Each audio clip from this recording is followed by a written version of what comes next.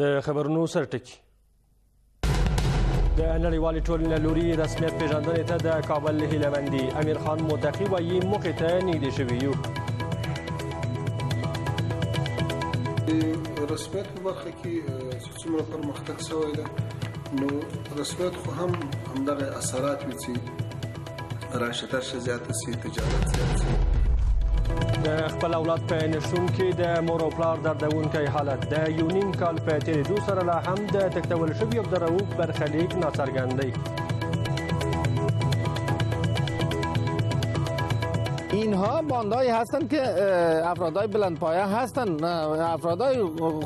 خرد ریزه ای کارا کرده نمیتونه تمامنش بلند پایه هستن او د سوریې په ادلب کې د امریکایي سرتیرو له لوري د دای ډلې د مشر وژل کېدل تیر شپه زما په امر امریکایي سرتیرو د سوریې په شمال لویدیځ کې د امریکا له خلکو او زموږ له متحدینو د ساتنې په ترڅ کې د ترهګرۍ ضد بریالي عملیات ترسره شول او نړۍ یې په یوې امنې سیمې بدله کړه سلامونه او وخت مو په خیر درنو لیدونکو او اوریدونکو د شپږو بجو خبرونو ته له تمدن تلویزیون څخه ښه راغلاست اوس هم بشپړ خبرونه کابل وایي د نړیوالې ټولنې له لوري رسمیت پیژندنې ته نږدې شوي دي د بهرنیو چارو سرپرست وزیر امیر خان متقي له فرانس پریس خبري اژانس سره په مرکه کې ویلي نړیواله ټولنه د افغانستان له نوي حکومت سره د تعامل غوښتونکې ده او په دې برخه کې ښې لاسته راوړنې هم ترلاسه شوې دي له دې سره د چارو کارپوهان وایي شاید کابل موخې ته نږدې شوی وي خو په اوسنیو شرایطو کې د نړیوالې ټولنې موخه د کابل په رسمیت پیژندل نه دي د نړیوالې ټولنې له لوري رسمیت پیژندنې ته د کابل هیله مندي د بهرنیو چارو سرپرست وزیر امیر خان متقی له فرانس پریس خبري اژانس سره په مرکه کې وایي کابل د نړیوالې ټولنې له لوري په رسمیت پیژندنې ته نږدې شوی دی ښاغلي متقي له نړیوالې ټولنې سره له تعامل خبر ورکړی او هغه یې د نړیوال مشروعیت ترلاسه کولو لپاره ښه نښه بللې ده رسمیت په برخه کې چې څومره پرمختګ شوی ده نو رسمیت خو هم همدغه اثرات وي چې راشه درشه زیاته سي تجارت زیات سي او هیوادونه یو له بل سره تعامل ولري په دې برخه کې خو الحمدلله ښه پرمختګ شوی ده او د موږ مفاهمه او خبرې چې لا چا سره هم کړې دي په هغو کې ښې لاسته راوړنې لرو او دا یو پرمختګ ده او مزل هم کړی ده تر یو حده پورې هدف ته نږدې شوي د بهرنیو چارو سرپرست وزیر همدارنګه ویل په افغانستان کې د یو شمېر بهرنیو هیوادونو سفارتونه فعالیت لري او اوسنی حکومت د اروپایي هیوادونو په شمول د ټولو هیوادونو د سفارتونو د پرانیستلو غوښتونکی دی د موږ ټولو ته دا پیغام و چې هغوی کولی شي په کابل کې خپل سفارتونه خلاص کړي او نارمل اړیکې له موږ سره ولري ځینو خلاص کړي دي ځینې به یې خلاصوي ځینې به یې نیمه خلاصوي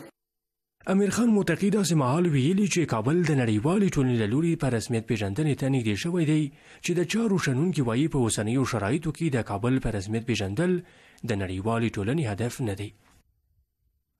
طور بگوییم که از جانب کابل شاید به هدف نزدیک شدن اما جامعه جهانی هنوز به رسمیت شناختن افغانستان در شرایط فعلی هدفش نیست له دې ټولو سره په هیواد کې د نوي حکومت له راتګ نږدې شپږ میاشتې تیریږي خو تر اوسه د نړۍ هیڅ کوم هیواد د افغانستان اوسنی حکومت په رسمیت نه دی پیژندلی نړیواله ټولنه ټینګار کوي که چیرې د افغانستان اوسنی چارواکي د سیاسي مشروعیت په لټه کې وي باید بشر حقونو د میرمنو او لږکیو حقونو ته درناوی وکړي او یو ټولګډونه حکومت رامنځته کړي په کابل کې یو شمېر کارګر وایي د پخواني حکومت له نسکورېدو وروسته د کار بازار له بې ساري ځوړ سره مخ دی. له دوی څخه ځینې وایي په تیرو پنځو میاشو کې یوازې یوه ورځ کار ته تللي او نورې ورځې د کار موندلو په تمه تیرې کړې دي له بل لوري د کارګرو ټولنه هم وایي د لوږې او وزګارتیا په ډیریدو سره له هیواد څخه یو شمیر ډیری متخصص او کاري ځواک وتلی خو حکومت بیا وایي هڅه کوي خلکو ته کاري بوختیاوې رامنځته کړي دا د هغه کارګرو توکي دي چې د کار موندلو لپاره ساعتونه او حتی څو ورځې په تمه پاتې کیږي خو د کار څرک نه لګي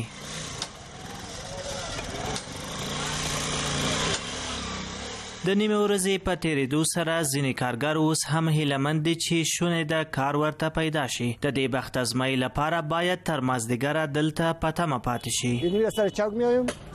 صبح کې اذان جمعې پنځه چې نماز شام میخونیم بلار خانه خود میریم ګشنه دا سړی وایي په تیرو 15 میاشتو کې وازی و ورځې کار موندلې او نوري ورځې د کار موندلو په تمه تیرې کړې دي یک روز کار کنیم فقط اینیم که میاییم و پس میاییم این چوگی آجا خوب بسان از وقت بسان از دهه از 85 میاییم کاشکاری میکنیم از 85 حالا 400 اینجا کاشکاری میکنه فقط در این رژیم یعنی فقط یک روز کار کنیم بس دیگه ما کار نکرد تا کی مردم کراچی بگیره در لب سرک بشینه خو اسدالله بیا تر قرلوق ښه چانس لري کسب یې کاشکاري ده وایي لږ تر لږه په هره میاشت کې توانېدلی چې پنځه ورځې کار پیدا کړي د ده په خبره ورځنی عاید یې په تیر حکومت کې له اته سوه افغانۍ لږ نه و خو اوس چمتو دی ټوله ورځ په دوه سوه افغانۍ کار وکړي ما مصوب میم تا چاش یا دو بجه سه بجه اگه یک دو ساعت گیریم آمد خونم میرم اگه نامد یعنی میالی که ما خلیفه کار هستیم یک نفر بگه از صبح تا بیگار سرت کار میکنم دو ساعت میتم ما راضی استم برو کار کن اما هم دو ساعت حالی گیر نمی دغه څو اونۍ وړاندې د کار نړیوال سازمان په یو راپور کې اعلان وکړ چې په افغانستان کې د نظام په بدلون سره نږدې 1500 زرو کسانو خپل کار له لاسه ورکړی او شونې ده د دوه زره او دوه ویشتم کال تر وروستیو له اووه سوه تر نهه سوه زره نور کسان هم د وزګارو کسانو سره یو ځای شي. په هېواد کې د بېوزلۍ او وزګارۍ له ډېرښت سره ځینې هېوادوالو د یوې مړۍ ډوډۍ د ترلاسه کولو لپاره ګاونډیو هېوادونو ته مخه کړې. د کارکوونکو ټولنه وايي، له هېواده د متخصصو کسانو تګ د اندېښنې وړ دی، په داسې حال کې چې حکومت د څانګوالو یا متخصصینو له کمښت سره مخ شوی دی. زیاد از متخصصین ما کسایی که چیز فهم بودند اینا متاسفانه کشور رها کردند و ما امروز یک چالش کلان دیگر کمبود کدرای فنی و مسلکی است که ما امروز دامنگیرش هستیم و دولت ضرورت داره خو حکومتي لوری وایي د خلکو لپاره د بوختیا چارې په ډېرې چټکۍ سره روانې دي د حکومت مرستیال ویاند هم له ځوانانو غوښتي ترڅو له هیواده ونه وځي امارت اسلامی افغانستان کوشش میکند در پهلوی فعال نگه داشتن دوائر دولتی سکتور خصوصی را خوب حمایه بکند و زمینه های خوب سرمایه گذاری را هم برای سرمایه گذاران داخلی و هم سرمایه گذاران خارجی در افغانستان مساعد بسازد. خو له دې ژمنو سره بیا هم په هیواد کې د اقتصادي ستونزو لمن پراخیږي ځینې وایي که چیرې دې ستونزې ته رسیدنه ونه شي د هیواد اقتصادي نظام به له منځه لاړ شي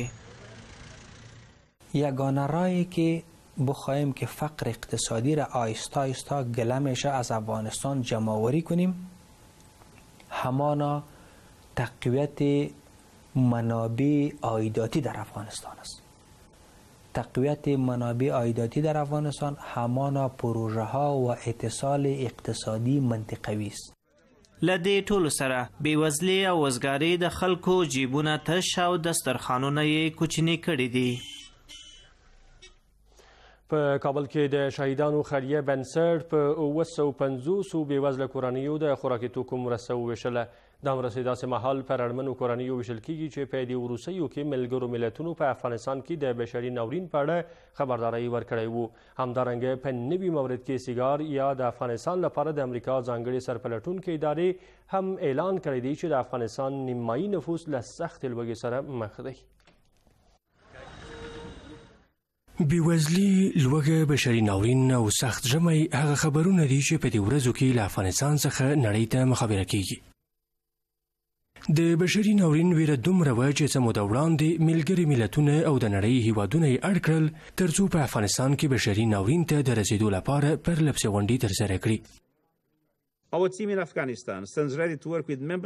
افغانستان له لوږې سره د میلیونونو کسانو د مخېدو او همدارنګه ښوونیزو ټولنیزو او روغتیایي چوپړتیاو ته د نه رسیدو په دلیل په یوه تار راځوړندی او د سقوط په درشل کې شتون لري په اګیز میاشت کې د افغانستان د سیاسي نظام په سقوط سره د دې هیواد اقتصادي نظام هم له سقوط سره مخ شو او مخ پر ځوړ روان دی تر دې چې بېوزلي او وزګارتیا خپلې وروسۍ کچې ته ورسېده سوخت نداره برادر دیگه یه چیز خدای نداره ما خود ما یک مایم یکم برادر ما دیگه دو نفریم دو نفر گفتم میکنی کمک از ما بیشتر بیشتر شوه دیگه چیز مرگ میتونیم ما چیکار کنیم از مجبوری از ناچاری له دې سره ملګرو ملتونو ټینګار کړی دی چې باید افغانستان ته بیړنۍ مرستې ورسول شي په دوام سره کورني خیرین هم د بشري ناورین رامنځته کېدو څخه د مخنیوي لپاره لاس په کار شي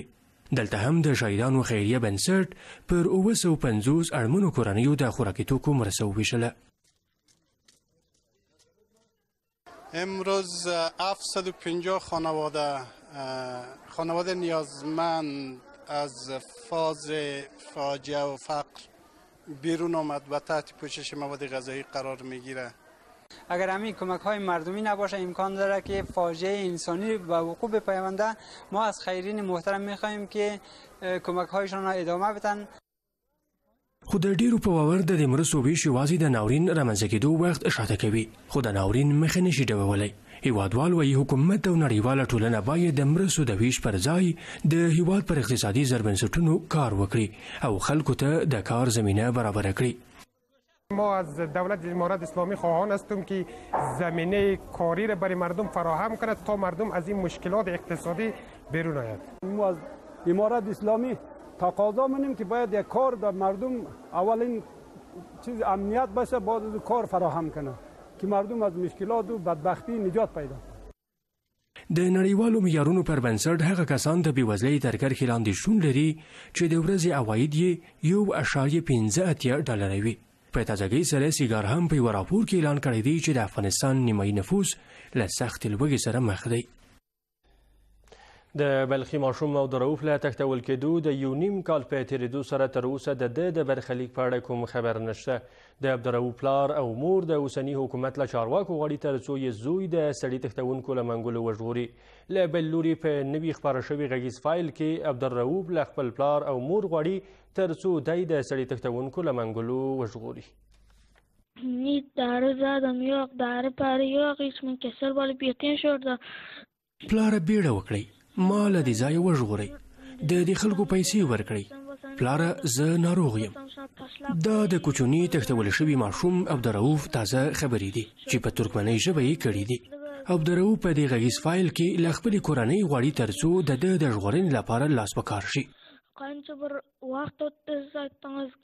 مې نو مې سن نجات پر شکتی زم زم اسمان نجات پر مت نو زګه پرون د اسلام د برانی لدی سره د عبدالرو پلار او مور هم د خپل کوچنی ماشوم په نشتون کې هر شیبه سوځي د عبدالرو پلار او مور چې د خپل زوی د نشتون په ویر کې یې د سترګو اوښکې وچې شوې دي وایي نه پخوانی دولت او نه هم اوسنی دولت د عبدالرو د راخوشي کولو لپاره کوم کار نه دی کړی الحمدلله تماما جای آل فعلا امارات اسلامی است تحت حاکمیت امارات اسلامی است اما چرا پیدا نمیشه علت پیدا نشده نظیر ما هیچ نمیفهمیم چرا که قبلا بود یک طرف حکومت فاسد بود یک طرف هم طالب بود که پیدا نمیشد این دسر طالب منداخت طالب دسر حکومت منداخت حالا خب او گپ هم نیست تماما جای ببینین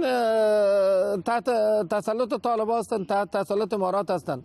ما بسیار به انتظار عبدالعوف جان هستیم شب روز هر روز در دقیقه انتظار عبدالعوف جان هستیم اما از عبدالعوف جان نیست سرنوشت درک نیست له دې سره د عبدالرؤف پلار وایي هغه کسان چې د ده د زوی د تښتولو تر شا لاس لري ځواکمن بانډونه دي او له پخواني دولت سره یې اړیکې درلودې دی وایي په افغانستان کې د نوي حکومت پر راتګ سره لا هم د ده د ماشوم د برخلیک په اړه کوم خبر نشته اینها باندایی هستند که افرادای بلند پایه هستند افرادای خرد ریزه ای کار کرده نمیتونه تمامش بلند پایه هستند با دولت قبلی هم اینا بسیار روابط خیلی قوی بودن خودشان با امارات هم با یک تعدادشان ارتباطات داشتن این مردم ها هستند اگر نی مردم عادی یک مرغ دزدی کرده برده میتونن اینا اینا بسیار یک باند قوی هستند که باند قوی نمی بود در امارات شش ماهی دوام میکرد او درو چې په یو خصوصي ښوونځي کې د دریم ټولګي زده کوونکی وو تیر کال ښوونځي ته د تګ پر مهال د څو کسانو له لوري چې پوځي جامې یې پر تن وې وتښتول شو او له هغې وخته تر دې دمه د ده د راخوشي کولو لپاره هڅو کومه پایله نه ده ورکړې اوس هم څو لنډ خبرونه د خبريالانو نړیوال فدراسیون په افغانستان کې د 313 رسنیو له تړل کېدو خبر ورکوي د دې فدراسیون په اعلامیه کې راغلي دي چې د دې بنسټ د سروې لمخې د اگست له 15 نیټې تر اوسه له 603 رسنیو 313 رسنۍ تړل شوې دي د سروې چې په ټول افغانستان کې د خبريالانو ملي فدراسیون له لوري تر سره شوې راغلي دي چې اوسنی وضعیت پر رسنیو منفي اغیزه پرې ویستلې ده په دې سروي کې راغلي دي چې له وروستیو بدلونو وړاندې پنځه زره کسانو پر رسنیو کې کار کاوه خو اوس دا شمېر دوه زره او دوه سوه څلور دېرش کسانو ته راټیټ شوی دی د حکومت لومړي وزیر په یو پیغام کې د حکومت له چارواکو غوښتي ترڅو خلکو ته چوپړتیاوې وړاندې کړي ملا حسن اخوند له ټولو حکومتي چارواکو غوښتي ترڅو د ادارو دروازې د خلکو پر مخ پرانیستې پرېږدي د همدارنګه له دولتي ادارو غوښتي ترڅو د خلکو شکایتونو ته رسیدنه وکړي او د خلکو ستونزې حل کړي دا په داسې حال کې ده چې له دې وړاندې هم ملا حسن اخوند د ملکي او پوځي ادارو له چارواکو غوښتي وو ترڅو د دولتي ادارو دروازې د خلکو پر مخ پرانیستې پرېږدي او د خلکو ستونزو ته رسیدنه وکړي او په ننګرهار ولایت کې روغتیايي چارواکي د کرونا ویروس د مثبتو پیښو له ډیروالي خبر ورکوي د ننګرهار د کویډ 19 روغتون مشر وایي په دې ولایت کې د کرونا ویروس مثبتې پیښې ډېرې شوې دي خو دوی له دې ویروس سره د مبارزې لپاره اړین چمتوالی لري له دې سره د ننګرهار روغتیايي چارواکي د ننګرهار له خلکو غواړي ترڅو د کرونا ویروس د خپراوي د مخنیوي لپاره روغتیايي لارښوونې مراعات کړي په هیواد کې له وروستیو تحولاتو او په بانکونو کې د بندیزونو له دوام سره د افغانستان د درملو چوپړتیا وړاندې کولو ټولنې مسولین وایي له دې وضعیت سره نشي کولی له بهره درمل وارد کړي د دوی په وینا اوس مهال درملتونونه له ستن ځایونو ګټه اخلي او پنځوس سلنه ستن ځایونه هم تش شوي دي خو حکومتي مسؤلین بیا د ستونزې د هوارولو د هڅو ژمنه کوي وایي چې په دې برخه کې له هیڅ ډول هڅو ډډه نه کوي په افغانستان کې د درملو بازار هغه بازار چې په دې وروستیو کې د هر وخت په پرتله وضعیت یې ناوړه شوی دی په دې وروستیو کې د هیواد په درملتونونو کې د درملو بیه مخ په لوړېدو ده او په دې هکله اندېښنې هم ډېرې شوې دي د درملو ترمنځ ځینې داسې هم شته چې په بازار کې ترلاسه کول ډېر سخت شوي دي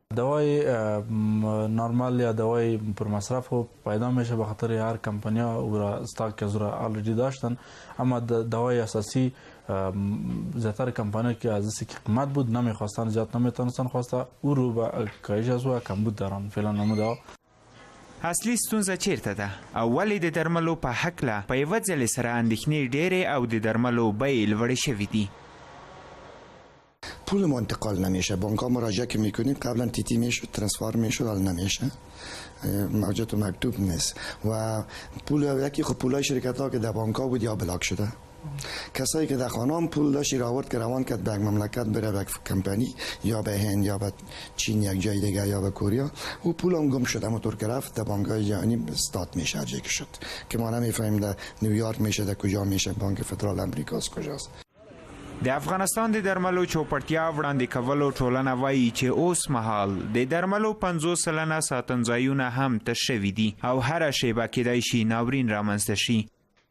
سونامین چی که بسیار یک فاجعه بزرگ ما پیش بینی هستیم اگر به می شکل حلقه بیرونی که امریکا انداخته در اقتصاد ما که پول نمیره یا هم دوام کنه و از داخل به راهای دیگه که ما میتونستیم دوا را داخل مملکت کنیم او را امارت نمانه بالاخره دوا تمام میشه و دو روز باز نمیشه که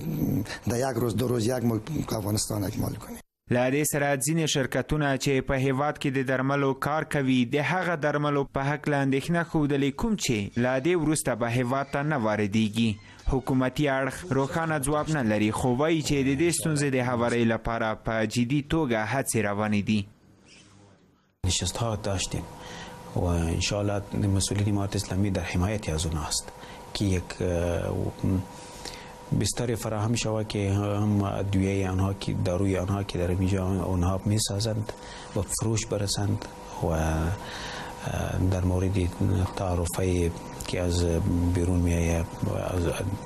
داروها یک تصمیم گرفته شود له دې ټولو سره ولیدل شي چې څه به راپېښ شي، هغه څه چې د درملو چوپړتیا وړاندې کولو ټولنه وایي که نه حکومتي مسؤلین. په بامیان ولایت کې یو شمېر زده کوونکي او زده کړالان د ښوونځیو او پوهنتونونو د ناڅرګند برخلیک په اړه په اندېښنې سره وایي د دې وضعیت دوام د دې لامل شوی ترڅو ډېری زده کوونکي د زده کړو په اړه خپله انګېزه او مینه له لاسه ورکړي د یو شمېر ښوونیزو مرکزونو چارواکي هم وایي هغه زده کوونکي چې د کانکور ازموینه په مخ کې لري لکه د تیر په څیر د درس ویلو انګیزه نه لري له بل لوري په دې ولایت کې ښځینه زده کوونکي له حکومته غواړي چې د څوارلسو لومړي کال په پسرلي کې د نجونو پر مخ د ښوونځیو دروازې پرانیزي په بامیان ولایت کې د ښوونځیو او پوهنتونونو د ناڅرګند برخلیک په اړه د بامیاني زده کوونکو او زده کړیالانو اندېښنه وایي د ښوونځیو او پوهنتونونو د دروازو تړل کېدو دوی اندېښمن کړي او د لوست او زده کړو لپاره یې خپله انګیزه له لاسه ورکړې ده په همدې حال کې د یو شمیر ښوونیزو مرکزونو چارواکي هم وایي د ښوونځیو او پوهنتونونو نه پرانیستل کېدل له زده کوونکو او زده کړیالانو څخه د زده کړو د دوام انګیزه اخیستې او د ناوړه پایلو په اړه یې خبرداری ورکوي. شاگردای ما نسبت به پارسال نسبت به سالهای قبل نسبت به سالهایی که ما در کابل تدریس میکردم شاگردای ما یک کمی بیانگیزه است و اینطور چی میکنه که پیش خود اینطور میگه که اگر ما مثلا اگر بخونیم برای چی بخونیم ما اگر بخونیم مثلا دانشگاه ما شروع شوه نشوه له دې سره د خزینه زده کوونکو اندېښنه تر ټولو ډیره ده دوی وایي د ښوونځیو د دروازو تړلو ترې د درس انګیزه اخیستې او ټوله اندېښنه لري چې راتلونکی به یې څه ډول وي یعنی آینده ما تباه شد ما مثل امو مادرایمان فقط میتونیم خانم خانه شیم نمیتونیم که در امو دکتر شیم معلم شیم یعنی امو آرزویی که داریم به زو برسیم یعنی انگیزه ما خیلی پایین آمده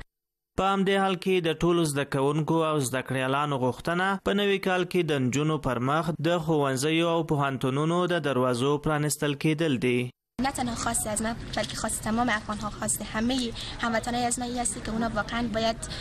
چیزی رو مد نظر بگیرن که واقعا باید اسلامی و انسانی باشه واقعا یه جفای خیلی بزرگی در حق از ما دخترها هسته که ما از درس محروم شیم ما نگران هستیم که نو باید آرزوها و امید ما رو بخواه اقصا نکنه درس دوباره شروع شد دانشگاه شروع شد و خواهان امی هستیم له دې ټولو سره حکومتي چارواکو له دې وړاندې ویلي وو په نوي کال کې به په ټول هیواد کې ښوونځي او پوهنتونونه پرانیستل شي اوس ولیدل شي چې دا څرګندونې به عملی بڼه ولري که نه د امریکا ولسمشر جو بایدن د سوریې په ادلب کې د داعش ډلې د مشر ابو ابراهیم قرشي له وژل کېدو خبر ورکړی دی بایدن ویلي د داعش ډلې دا مشر له امریکایي سرتیرو سره د یوې نښتې په پای کې د یوې چاودنې په ترڅ کې خپل ځان او خپله کورنۍ وژلې دي له دې سره لومړني راپورونه وایي چې د سوریې په ادلب کې د امریکایي سرتیرو په عملیاتو کې دیارلس کسان وژل شوي چې شپږ یې ماشومان دي له بل لوري د سوریې د بشر حقونو څار بنسټ چې مرکز یې په لندن کې دی د دې عملیاتو په ترڅ کې د اوو ملکیانو له وژل کېدو خبر ورکړی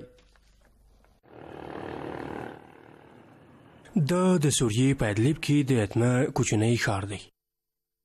هغه ځای چې د امریکایي چارواکو په خبره د داعش ډلې مشر ابو ابراهیم قرشي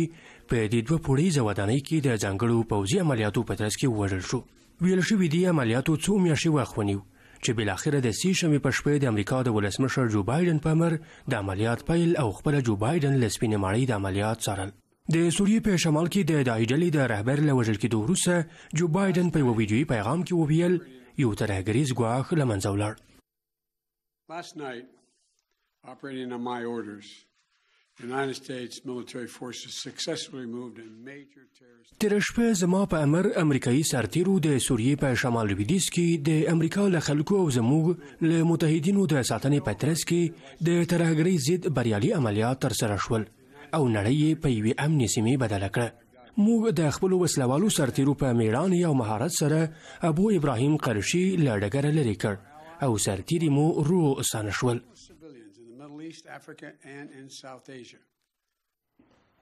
ابو ابراهیم قرشي د ابوبکر بغدادي لمړینې وروسته د دای ډلې رهبري پر غاړه درلوده قرشي په دې موده کې د حاجي عبدالله، امیر محمد سعید، عبدالرحمن المولا او عبدالله قرداش په نومونو فعالیت کړی دی او امریکا د ده د نیولو لپاره لس میلیونه ډالر جایزه هم ټاکلې وه. په ټوله کې د داعش ډلې دا مشر له امریکایي سرتیرو سره د څو ساعته جګړې په پایله کې د یوې چاودنې په ترڅ کې خپل ځان او خپله کورنۍ ووژل. هغه ځان وژنه چې جو بایډن ویرونکې بللې ده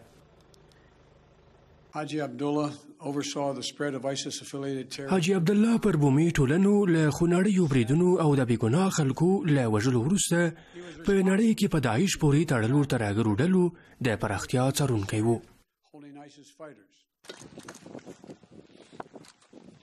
له دې سره د دې عملیاتو له امله د کره مر ژوبلې شمېره نه ده روښانه شوې خو د پنټاګون ویاند وایي په نظر راځي چې یو ماشوم وژل شوی او د اتو ماشومانو په ګډون یې لس نور کسان له دې کور څخه ویستلي دي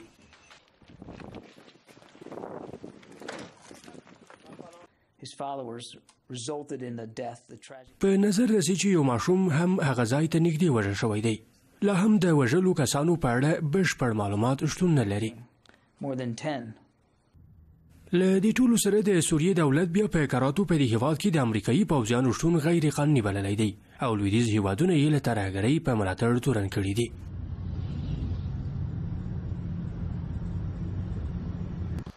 او د اوکراین ولسمشر ولادیمیر زلنسکي د اوکراین او روسیې ترمنځ د ترکیې د منځګړیتوب له وړاندیزه هرکلی کړی دی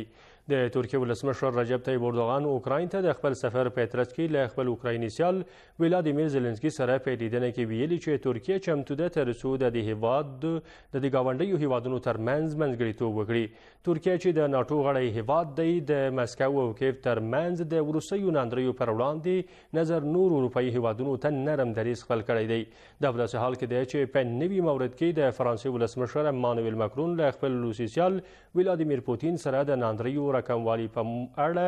ټلیفوني خبرې اترې کړې دي اوس هم د اټکل له مخې د هیواد سیمې او نړۍ د یو شمېر لویو ښارونو د هوا حالات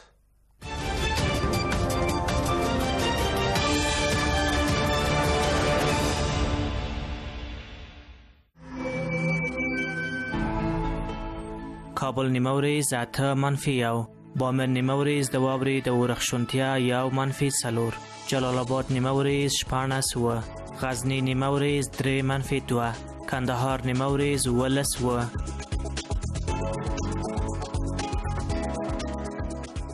کندوز نیمه وریز شپانس پنځه لښکرګاه نیمه وریز اتلس و مزار شریف نیمه ورځ څوارلس اوه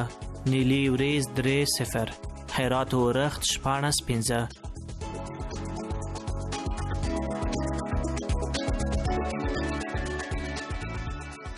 اسلام آباد نیمه ورځ اوولس نهه تهران نیمه ورځ لس درې دوبۍ شین اوویشت شل ډهلي شین اتلس نهه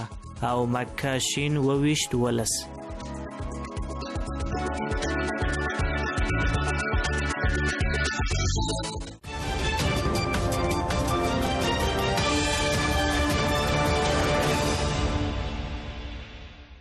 په پای کې د خبرونو سرټکی یو ځل بیا د نړیوالې ټولنې له لوري رسمیت پیژندنې ته د کابل هیله مندي امیر خان متقي وایي موخې ته نږدې شوي یو رسمیت په برخه کې څومره پرمختګ شوی دی نو رسمیت خو هم همدغه اثرات وي چې راشه درشه زیاته سي تجارت زیات سي د خپل اولاد په نشتون کې د مور او پلار دردونکی حالت د یو نیم کال په تیریدو سره لا هم د تښتول شوي عبدالرؤ برخلیک ناڅرګند دی